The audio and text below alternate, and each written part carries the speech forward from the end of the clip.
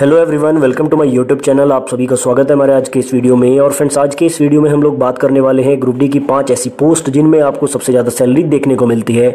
देखिए, वैसे तो ग्रुप डी की जो आपकी सारी पोस्ट होती है, उनमें इनिशियल पे अट्ठारह हज़ार यानी कि बेसिक पे आपका अट्ठारह हज़ार रहता है। बाकी अलाउंसेस भी सेम रहते हैं, लेकिन पाँच ऐसी पोस्ट मैं आपको बताऊँगा जिनमें आपको एडिशनल सैलरी देखने को मिल सकती है। यानी कि कुछ एक्स्ट्रा अलाउंसेज इन पोस्ट में मिलते हैं, जिससे इनमें वो सैलरी बूस्टर का काम करते हैं।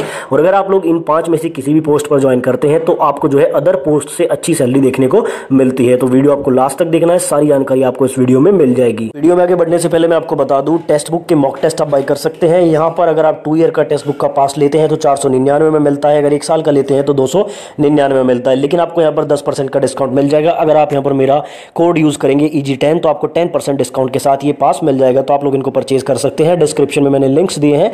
वहाँ से जाकर आप इसको चेकआउट कर सकते हैं। इस वीडियो को स्टार्ट करते हैं और नंबर पाँच पर जो हमारी पोस्ट है, वो है हॉस्पिटल असिस्टेंट की। अब आप लोगों को लगेगा कि हॉस्पिटल असिस्टेंट में सैलरी कैसे इंक्रीज होती है? देखिए, हॉस्पिटल असिस्टेंट की जो पोस्ट है, वो सबसे अच्छी पोस्ट मानी जाती है रेलवे में। इसमें आपको जो ड्यूटी मिलती है, वो रेलवे के हॉस्पिटल्स में मिलती है। आपको वहाँ पर एज अ असिस्टेंट काम करना होता है। यहाँ पर वर्कलोड भी बहुत कम रहता है और यहाँ पर आपको सैलरी में भी थोड़ा सा इंक्रीमेंट देखने को मिल सकता है। एक्चुअल में होता क्या है, यहाँ पर जो है आपको पेशेंट केयर अलाउंस के रूप में कुछ एक्स्ट्रा पैसे मिल जाते हैं। मान लीजिए यहाँ पर रेलवे के किसी हॉस्पिटल में कोई पेशेंट अगर भर्ती है तो उसकी केयर करने के लिए जो है आपको यहाँ पर एक्स्ट्रा अलाउंसेस मिलते हैं। साथ ही यहाँ पर अगर आप नाइट में ड्यूटी करते हैं, यानी कि नाइट में अगर आप किसी पेशेंट का जो है केयर करते हैं तो उसके लिए भी आपको जो है पेशेंट केयर अलाउंस मिलता है। तो कहीं ना कहीं ये वाली पोस्ट में आपको जो है अदर पोस्ट से ज़्यादा सैलरी देखने को मिल जाती है।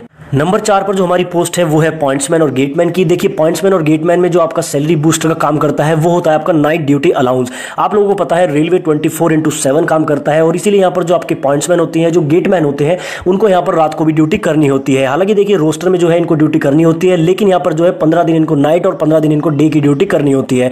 तो इस हिसाब से अगर देखा जाए तो इनको जो है नाइट ड्यूटी अलाउंस बहुत ही अच्छा मिल जाता है। एक बार मैं आपको थोड़ी सी कैलकुलेशन नाइट ड्यूटी अलाउंस की दिखा देता हूँ। अगर नाइट ड्यूटी अलाउंस की मैं बात करूँ तो देखिए, रात को दस बजे से लेकर अगर सुबह छह बजे तक आप काम करते हैं तो वो आपका नाइट ड्यूटी में काउंट होता है। यहाँ पर पर सिक्स आवर के लिए एक यूनिट आपकी काउंट होती है। मान लीजिए आप छह घंटे यहाँ पर नाइट ड्यूटी करते हैं तो आपकी एक यूनिट बन जाती है। अब उसके बाद देखिए यहाँ पर जो आपका नाइट ड्यूटी अलाउंस निकलता है, वो किस तरह से निकाला जाता है आपका बेसिक पे और जो बेसिक पे पर आपका डी फ़िलहाल चल रहा है, वो जोड़ दें उसको अगर दो सौ से डिवाइड कर दें तो आपका जो है नाइट ड्यूटी अलाउंस के लिए जो अमाउंट बनता है, वो निकल जाता है। एग्ज़ाम्पल के माध्यम से आपको थोड़ा सा मैं बता देता हूँ। मान लीजिए यहाँ पर देखिए आपका जो बेसिक पे है, वो लेवल वन में, यानी कि ग्रुप डी में अठारह रहता है, उसके ऊपर जो है आपका अट्ठाईस का डी यानी कि पाँच हज़ार चालीस लगता है जब उसको जोड़कर दो से भाग करते हैं तो एक सौ रुपए यूनिट निकल कर आता है, यानी कि पर सिक्स आवर के लिए आपको एक सौ रुपए मिलते हैं। अब एक छोटा सा अमाउंट अगर हम कैलकुलेट करें, मान लीजिए दस यूनिट नाइट ड्यूटी आपकी हो जाती है एक मंथ में तो जब इसको एक से मल्टीप्लाई करते हैं तो ग्यारह रुपए आपको यहाँ पर नाइट ड्यूटी अलाउंस के रूप में मिल जाते हैं। तो देखिए आपकी जो पॉइंट्समैन और गेटमैन की पोस्ट होती है, इनमें आपको अच्छा खासा नाइट ड्यूटी अलाउंस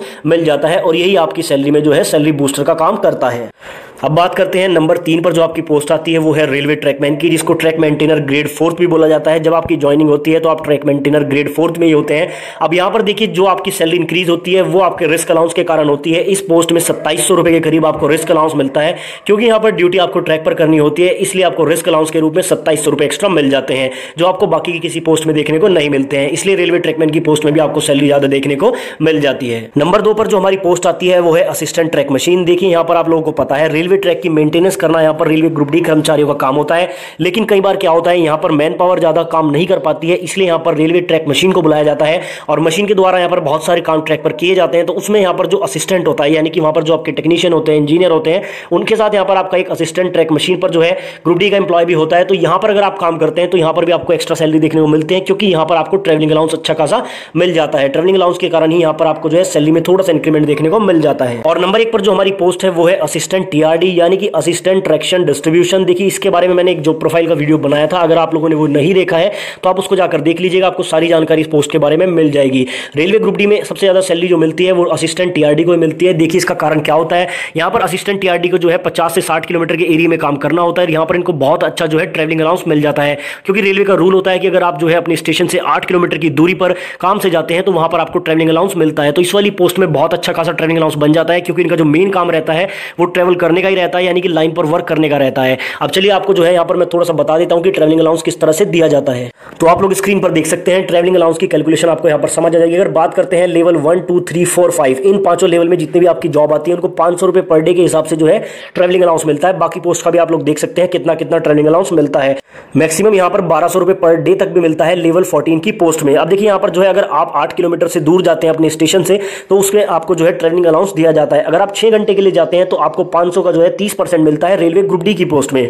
अगर आप बारह घंटे के लिए जाते हैं तो पाँच का सत्तर मिलता है, जो आपका तीन बनता है। और अगर आप लोग बारह घंटे से ज़्यादा के लिए यहाँ पर ट्रेवल करते हैं, जो कि टीआरडी की पोस्ट में करना पड़ता है तो वहाँ पर आपको हंड्रेड परसेंट ट्रेनिंग अलाउंस मिलता है, यानी कि पूरे पाँच सौ रुपए पर डे के हिसाब से आपको ट्रेनिंग अलाउंस मिलता है। तो देखिए, जो आपके असिस्टेंट टीआरडी की पोस्ट है, इसमें आपका जो ट्रेनिंग अलाउंस है, वो सैलरी बूस्टर का काम करता है और बहुत ही अच्छी सैलरी यहाँ पर बन जाती है।